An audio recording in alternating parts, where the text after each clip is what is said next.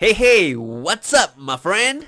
Welcome back to this week's market analysis, right? It's so good to be back, right? So, you might have realized, right, uh, there wasn't the weekly videos over the last few weeks because, you know, I was busy with TradersFest, right? Preparing it, right? Liaising with the speakers, make sure, you know, things go well, no hiccup. And I'm glad to say, right, things went smoothly and I couldn't ask for, you know, a better, a better way of turning out. Okay, so anyway, that is over things is back to normal now and back to this week's market analysis, right? I want to share with you a, a few things, right? Number one, the best trading setups I'm looking at this week. Number two is, you know, often you hear, right, traders telling you that you should risk 1% of your trading capital. But I would say, no, that's not entirely true because you still need to take into consideration this one important factor. And I want to share them with you or share this with you in today's video. Okay, so with that, right, let's begin.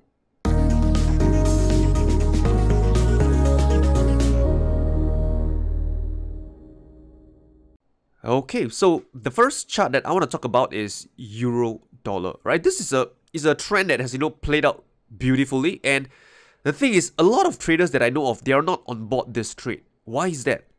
Right, let me walk you through their psychology when they look at this chart. At this point in time, right, they'll look at this chart and say, "Oh man, look, right, the price is so high, it's approaching this area of resistance, right? I, I, I should be looking to short this market, right? I'm not going to long because it's so high already." And then what happened? The market breaks out and continue trading higher. Then at this point, they'll say, yeah, man, look at this, you know, the price is overbought. If you pull out your RSI stochastic, it's, you know, way overbought, right? I, sh I shouldn't be going too long. Perhaps I'll wait for a pullback, a pullback towards this area of support, right? This is a, a better trade. And then the pullback didn't come and the market continued trading higher. And now, at this point, right, you can see that the market, you know, does somewhat of a, a, a flag pattern, sort of, right? And again, the same thought process is, you know, is going at the back of your mind. They'll, they'll look back at the chart, right? Man, you know, it's so high, right? Price, you know, I'm going long at this uh, uh, uh, area of resistance, right? This is the highest point it can get, right? You know, I don't want to be long, right? Because, you know, it's not worth it. And then what happened is the market breaks out and continue trading higher. And now at this point, right, we have another group of traders, the same group of traders would say, uh, look at this, right, this in head and potential head and shoulders pattern. I mean, maybe you can, maybe you can't see it here, but, but I go down to the four hour time frame, right, you can see, oh, look, right, an uh, inverse head and shoulders pattern, right? Should I be long, right? I don't think so, right? Because, you know, inverse uh, head and shoulders means that the market is about to collapse, right? I shouldn't be long. I'll either stay on the sidelines, wait for confirmation before I short this market. And, hey, you may be right, right? This could be the top, right, for all you know. But if you look at the price historically, right, it should appear to you that you have been proven wrong multiple times already. Okay, so it's it's funny, right? Instead of, you know, going with the trend, following the trend, you rather be shorting this market, you rather be on the sidelines, which somewhat, you know, doesn't really make too much of a sense to me, right? So, as a trend follower for me, I stay with the trend. So I look at this no matter what chart pattern it shows, right? No matter how uh, uh, overbought it is, I'm still looking to long. As long as, you know, it, it meets my trading plan. So my uh, my take is that, you know, this is an area of support that I would say it's worth, right? Looking for a long setup, right? If the price could get down lower, right, and get, give you a price rejection and then close higher over here, this would be a valid setup to me to go long. Go long, right? So this is euro dollar. Uh, daily time frame, it looks bullish to me. If you just pull out your 20 MA, it's still pretty much uh, above it. Okay, the, the trend is still strong, right? Uh, I see this potential head and shoulders pattern over here, but it doesn't... If you look at the, the magnitude of this so-called head and shoulders pattern, right? This, right? Compared to the long-term trend that you have been in. Uh, it's funny that you want to give this chart pattern more weightage compared to this uh, long-term trend that you're in. I'm not saying that, you know, the market cannot reverse. There is the possibility of that. Anything can happen in the markets.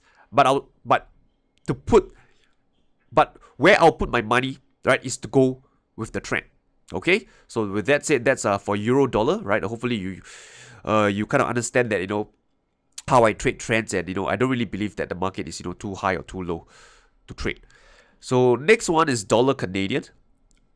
Okay? So dollar Canadian, let me just get rid of the moving average first. So from the look of this chart, it's clear that this market is in a downtrend, right? Lower highs, lower highs, lower highs, lower highs, and lower lows. So an area that you could potentially want to trade from is this previous support that could turn resistance over here. So the market is somewhat forming a retracement approaching this uh 1243 level. So this is a level to look for short opportunities. So a couple of ways you can you can trade this, right? First one is perhaps you know a bearish reversal pattern when the market comes in and then it smashes lower and the next candle you know basically close bearishly lower. That's one possibility. Another possibility is, you know, perhaps you go down to the one hour time frame. Right? You can't see this here, but yeah, the one hour time frame. Right, I'm zooming out a little. As the market know continue trading higher, right? You can wait for a, a break of structure on this one hour time frame where the market, you know, as you can see on this one hour time frame, the market is in an uptrend, higher highs and higher lows.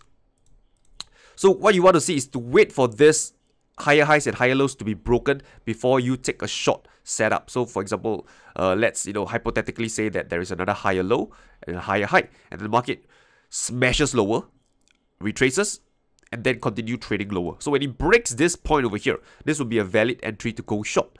Because why? Uh, technically speaking, right, a trend should technically end when you know it no longer makes a higher high and higher low. So at this point, you have a lower high and lower low. So it makes sense to conclude that potentially the long-term trend, which is on the daily time frame, the long-term trend, which is this daily time frame, right, has potentially resumed and you want to take a short trade back towards the downside. So two ways you can go about it, right? Depending whether you want to trade off the daily time frame or you have more time on your hands, you know, you want to take a shorter term trades and you can you know trade off the one hour time frame. Okay, so that's for dollar Canadian. Another market to share is dollar Mexican. So I guess uh, I want to share is, is a lesson is this dollar Mexican is that, you know, you can see that this market, right, something is structurally changing. What do I mean by that? Is that if you look at this portion here, you notice that volatility has shrunk, right? Notice that the range that the market has been putting out is just contained between here and here, like these highs and lows. Okay, and when the market does this, right, the last thing that you want to do is to fade the breakout. So what do I mean by this? What do I mean by fade? When I say fade, I mean to go against. So let's say if the, the market, you know, let's say no doubt it is a downtrend. And the market, you know, breaks out higher. And you think that, uh, man, it's a downtrend, I'm still going to short anyway. Be careful because, you know, when volatility shrinks, the next thing that is likely to do is volatility expand because the, the market moves from a period of low volatility to high volatility. Okay? So no matter which direction it breaks out, you don't want to fade the move. All right, this is important because if you look at uh, if you just look at your charts, right? Let me just you know go back in time and just share with you the charts. You see, right? Volatility. The market moves from a low a period of low volatility to high volatility. Low to high. Low to high. Low to high. Low to high. Low to high. A low to high volatility, low volatility to high volatility, and uh, I would say here low volatility, high volatility. Where else? And now we can so-called here somewhat low volatility, high volatility, and now we are back here low volatility. Okay, so the market now is clearly in a period of you know low volatility and you know no matter what happens whether it breaks out higher or lower the last thing you want to do is to go against that uh direction of the breakout right this is important and if you know if you want to trade with the trend right then needless to say if the market can break below this swing low right if it break and close below it right then you can look to go short right in in anticipation of lower prices okay so this is dollar mexican right there's a uh, two side to this uh, chart right number one is to not fade the volatility. And number two is to, you know, uh, to potentially trade the breakdown towards the downside. And the last one that I want to talk about is oil. Oil, let's have a look at Brent crude oil. So oil is interesting because if you, you know, you zoom out of this chart and you see, it's basically, right, the highs of uh, 20, 2016, right? This is the highs of 2016, I believe. And it's, you know, approached this level once again. So at this point, right, clearly, right, nobody can tell whether, you know, this will be finally be the breakout that, you know, traders are looking for or this will just be another reversal back towards the downside. So this is why there is a market, right? You know, no two no no traders can all agree what the markets can do. Some believe it's going to break out higher. Some believe that you know it's going to be a reversal. So what about me? What would I do? For me, right, I intend to you know stick with this uh this current upswing, right, and I'm looking to plan a trade right on this four hour time frame over here. What I'm seeing on this four hour time frame is a potential, right, uh, this area of support, right, previous resistance, then support, then support, then support. So if the market can comes back down lower, right, and give me a, a false break setup, a price rejection or whatever, right, and you basically close higher after, you know, flushing out the stops below here, I'll be looking to go long, right, and in, in anticipation of higher prices.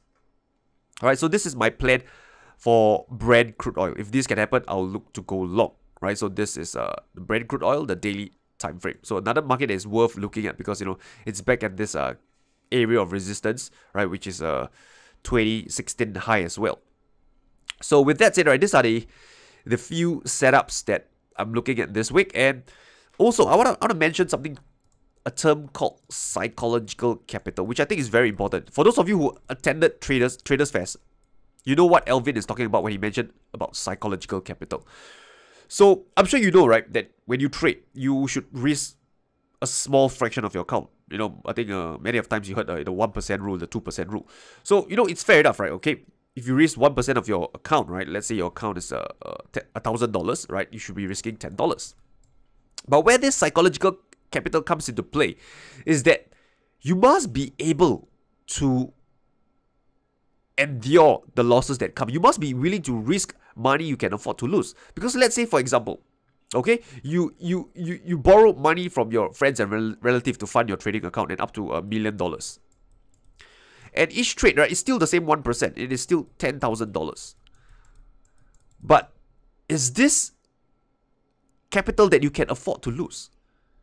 Now there's a difference, right? From $10, right, your own money to now 1 million. This $10,000 clearly is not capital that you can afford to lose.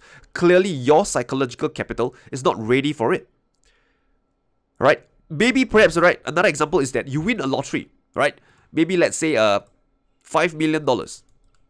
And again, you risk 1% on each trade, and 1% will be $50,000 on each trade. Again, you're still risking the same 1%, but you may not be able to execute your trade consistently because your psychological capital is not ready.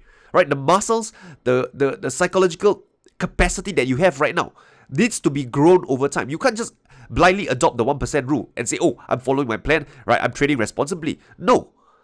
Because if your psychological capital is not ready, even if you risk 1% or 0.5% or even 0.1%, it could be too much for you. Okay? So I think this is important, right? To really understand what is your psychological capital limit. Right? Do not trade beyond that limit because if you do so, you'll find yourself breaking your trading rules. Right? Not following your plan. All because your mental capacity is not yet ready to trade that sum of money. So my my advice is though is to go small, scale down first, right? Go down to a level where you're comfortable with. So let's say you're perfectly comfortable, you know, risking hundred dollars on each trade. So fair enough, you risk hundred dollars on each trade. Okay, and of course, right, you want to be properly, you know, adequately, you know, funded. If you have 500 $500 $500 in your account, $100 is way too much. So if you if you want to risk $100 on each trade, put like, you know, 5k or, or 10k in your account. Okay? So with that said, right, if hundred dollars is your psycholo- psychological limit, right? Risk that hundred dollars, gain the consistency, gain the confidence. Then slowly you move up, right, to maybe 150, then to 200, then maybe to 250, 300, 500, 1000. Slowly scale your way up, right? You cannot just blindly trade a, a nominal value just because, right, your account can withstand the risk management. It does not make sense because you have to think or take into consideration your own psychological capital. Okay, so this is important and it's a lesson that I want to leave with you, right, uh, for this week's video. Okay, so just a quick recap, right, what we covered this week. Number one, euro dollar, right, I'm bullish, right, and I said that, you know, just follow the trend, right, it's the path of least resistance. We talk about dollar Canadian, right, bearish on this, looking for a potential short setup. Then we spoke about the dollar Mexican. I said that, you know, the market moves from a period of low volatility to high volatility, and dollar Mexican is now a period of low volatility. So do not fade the breakout that happens, right? Because chances are, right, it could it could sustain. It, the move could last for a while. Uh, the fourth market we talk about is oil, right? I'm bullish on it and looking for a, a long setup on the 4 hour time frame. And last but not least, right, the, the thing I spoke about is your psychological capital. Okay, this is so important, right? And you know, I wish I can ingrain into your brain, but you know, you want to be trading with capital that you're comfortable with losing, right? Don't just blindly follow that one 1% risk management rule because sometimes the amount that derives from that 1% is still way too much for you to handle. So, okay, this is important, right? And with that said, I have come to the end of this week's market analysis. If you have enjoyed this video, please hit the thumbs up button and subscribe to it. And, you know, if there's any question or feedback, just let me know below and I'll get back to you. So with that, I wish you good luck and good trading. I'll talk to you soon.